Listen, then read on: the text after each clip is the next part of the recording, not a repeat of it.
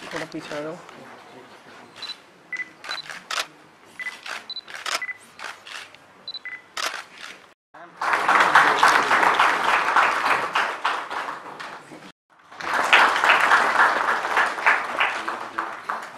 and a certificate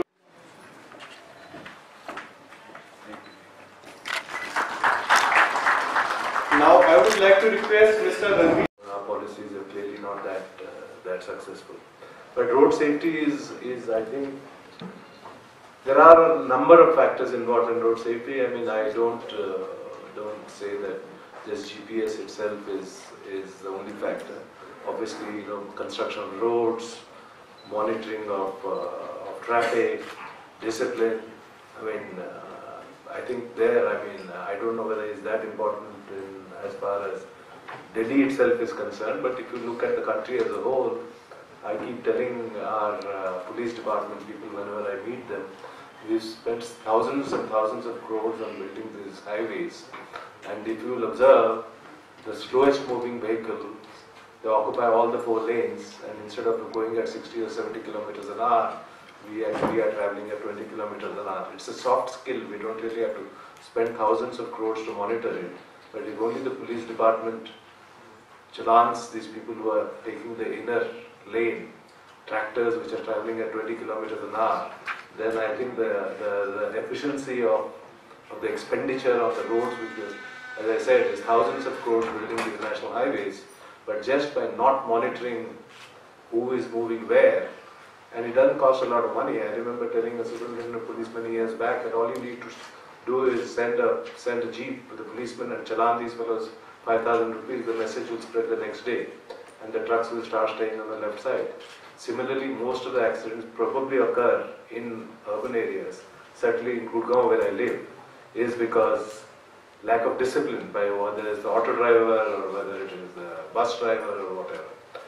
But that aside, as I said, there's a lot of variables involved in, in looking at road safety. And had the minister been here, maybe we could have told him that he should do something about it. But an integral part, I think, of, I mean, obviously, you know, schools, safety in schools is certainly a very important aspect, and unfortunately, we are, we read about it and we hear about it, and, you know,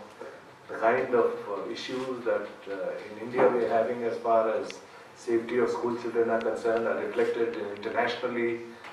Initiated uh, this debate and this initiative on how um, the new technology can help us in uh, introducing such measures where uh, we can, uh, to a great extent, ensure that the children are safe in the school buses and uh, in the larger perspective, whether we are able to use the public transport in a meaningful way and we are able to reduce congestion and traffic on the roads. While uh, the automobile industry is definitely progressing and the number of vehicles and uh, the new technology and everything is actually available today. But how we garner the benefits out of it is really up to us. So, uh, in a few earlier sessions, we have been uh, regularly debating about the safety and how we ensure uh, safety on the roads for different segments, for different road users, and so on. And it was then that uh, this idea struck to us that uh, maybe we can uh, actually you know, go ahead and start looking at you know what are the workable options for us, particularly for roads and ambulances and uh, big public vehicles where the uh, government has come up with a regulation and which is uh, going to make it mandatory for the GPS uh, equipment to be installed in the vehicles and the tracking system uh, should be in place. And uh, I learned that a lot of state governments are already working on developing an ecosystem behind it so that uh,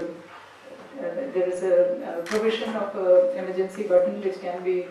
actually pressed if there is an emergency and which will find a, a response in terms of uh, immediate attention uh, to the uh, you know concerned location and to the vehicle and the occupants. But uh, while all this uh, would take a little time, what we have come up with is to really you know use it as a knowledge tool and to uh, empower uh, you know even the uh, drivers of the buses even the so today we are going to introduce this idea about imparting training on the GPS equipment to not only the regular mechanics in our service centers, but also to drivers, also to the administrators of uh, fleets and so on. The idea being that uh, while technology by itself may not be uh, you know, uh, the, uh, mm, the solution, but how we use technology is what is really going to offer